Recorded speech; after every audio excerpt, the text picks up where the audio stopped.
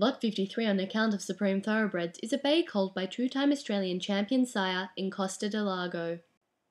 The colt is from Major Drama, a half-sister to Ocean Fast, the dam of Alinghi, making this colt a three-quarter brother-in-blood to Alinghi.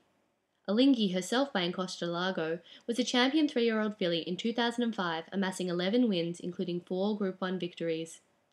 Major Drama is also a half-sister to other stakes-performed horses by Encosta de Lago, such as Perfect Persuasion and Slice of Paradise.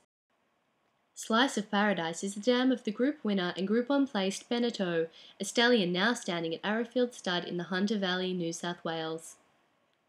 Lot 53 by Encosta de Lago from Major Drama.